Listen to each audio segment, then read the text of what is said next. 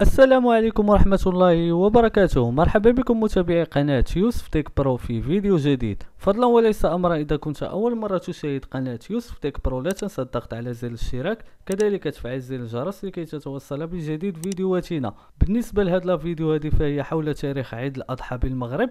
ففي بلاغ لوزارة الأوقاف والشؤون الإسلامية فوفق هذا البلاغ تنهي وزارة الأوقاف والشؤون الإسلامية إلى علم المواطنين أنها راقبت هلال شهر ذي الحجة لعام 1441 هجرية. بعد مغرب يوم الثلاثاء 29 ذي القعدة 1441 هجرية. الموافق ل 21 يوليوز 2020 ميلادية. فتبتت لديها رؤية الهلال ثبوتا شرعيا. وعليه فإن شهر ذي الحجة هو يوم غد الأربعاء 22 يوليوز 2020 وعيد الأضحى المبارك هو يوم الجمعة 10 ذي الحجة 1441 هجرية. الموافق ل 31 يوليوز 2020 أهل الله علينا هذا الشهر المبارك وكذلك وكذلك عيد الأضحى السعيد وبهذه المناسبة أهنئكم بمناسبة عيد الأضحى المبارك وأتمنى لكم عيدا سعيدا وكل عام وأنتم بخير والسلام عليكم ورحمة الله وبركاته.